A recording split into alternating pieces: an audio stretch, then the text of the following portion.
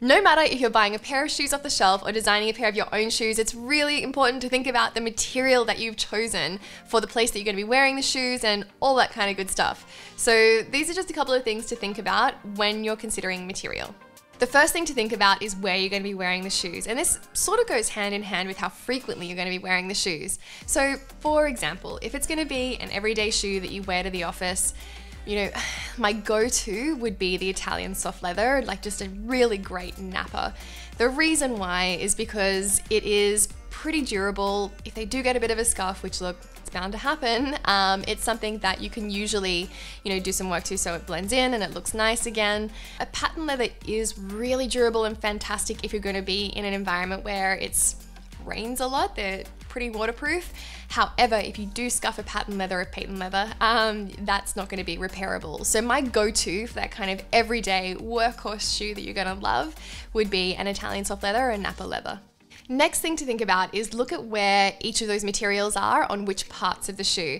So you can assess this on a shoe that you're pulling off the shelf, but if you're designing the shoe, this is some really nice kind of functional design information to think about. So I really consider things like you know, where are the high wear parts of the shoe? So, for example, the heel is something that gets a lot of punishment traditionally, and the toe as well, that toe cap area. So, I would always go for something way more durable on those two places. So, a nappa leather, a patent leather are the kinds of materials I'd put there.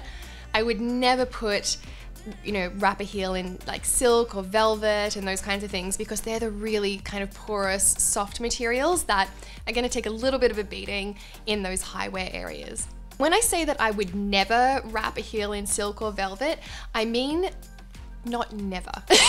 so I would do it if it was a pair of shoes that I was wearing to an event or if it was a pair of shoes I knew I was going to take really good care of.